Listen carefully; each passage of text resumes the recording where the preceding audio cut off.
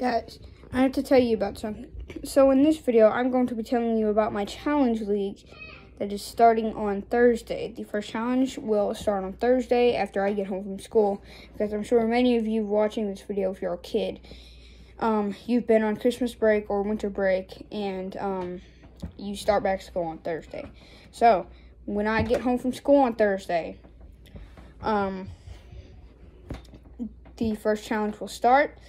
Um, I will announce the teams and the people on the teams all on that day. And um, I will also, um, I have to do a lot. I have to plan the upcoming challenges after that. And my plan is I plan the challenges for the first week of the Challenge League and then we go on from there. So after the first week of challenges has passed, then I go on to the next week, and then the next week, and then the next week. And each season will be four weeks long. So four weeks of challenges. So two challenges a week. Um. So yeah, I just got, I wanted to tell you guys about my challenge league.